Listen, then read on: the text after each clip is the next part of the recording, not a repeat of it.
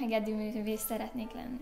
A művészeti gimnáziumba szeretnék elmenni zongora tagozatra persze, és utána vagy híres zenész szeretnék lenni, vagy a bátyámnak a éttermében szeretnék zenész lenni. Hát a legnagyobb tervem egyszer az, hogy zenekarba megyek egy harsonás.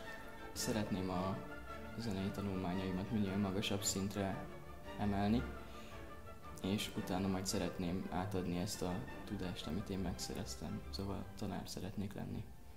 Bármit is csinálok, zenével kapcsolatos lesz, és szeretnék több műfajban és több lábom megállni, továbbfejleszteni magam folyamatosan. Szombathelyre megyek szakközépiskolába, és azután szeretnék a Bécsi Akadémián tanulni.